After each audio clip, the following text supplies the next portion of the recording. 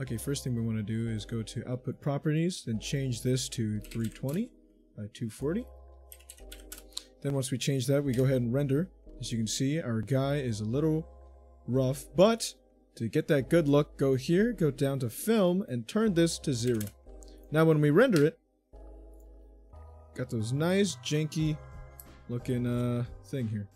That's the first way to get the look. The second way is by going to compositing. Now at first you won't see anything unless you check use nodes. And also if you don't see your model here, you're going to want to go ahead and render it first. Then if you click on view layer, it should show your model when you rendered it. Go ahead and disconnect these. Put them off to the side. You want to go ahead and add a scale. Put that down. Add a value. Put that down. And lastly, a pixelate.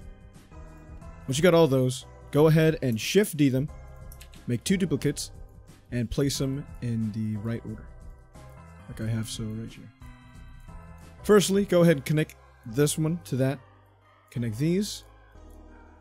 Connect this to this. This to this. And this to this.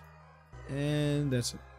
Next, change this value to 5.000. Then this one to 0.200. Afterwards, once you click render, your gun should be pixelated like this. Not as rigid as the first way I showed you. However, um, it has that similar look. Yep. Other than that, you can combine both the two different ways to make the photo. Just remember the resolution does matter in that case. Other than that, um, thanks for watching.